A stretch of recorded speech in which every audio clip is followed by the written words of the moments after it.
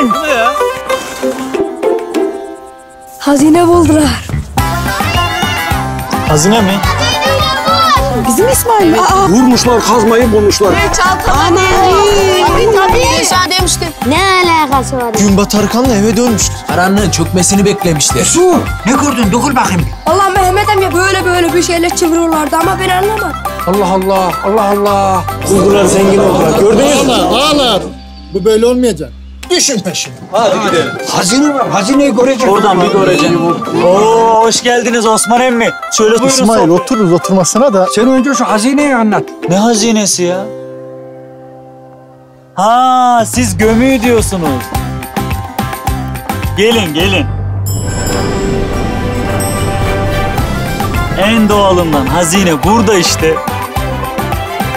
Hazine işte. Torku'dan Anadolu'nun gerçek hazinesi. Yüksek lif oranına sahip Torku Çatalhöyük bulgurun lezzet sırrı binlerce yıllık taş değirmen geleneğinde saklı Torku Çatalhöyük bulgur.